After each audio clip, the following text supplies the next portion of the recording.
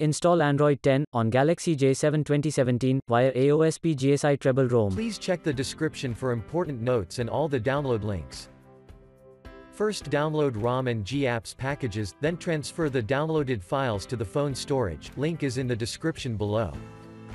Step 2. Boot your device into TWRP recovery. Once in TWRP, click on Wipe, Advanced Wipe, and select the check boxes, as shown in the image, excluding internal storage. Step 4. Swipe the button to wipe the device. Step 5. Go back to the recovery main screen, and tap on the Install button. Step 6. Navigate to the storage, and select the GSI ROM file. Step 7. Finally, swipe the button on the screen, to install ROM file. Step 9. After GApps flashing completes, select Wipe Cache and Dalvik from bottom left side of screen, and swipe to wipe. Step 10. When the flashing process is complete, hit Reboot System.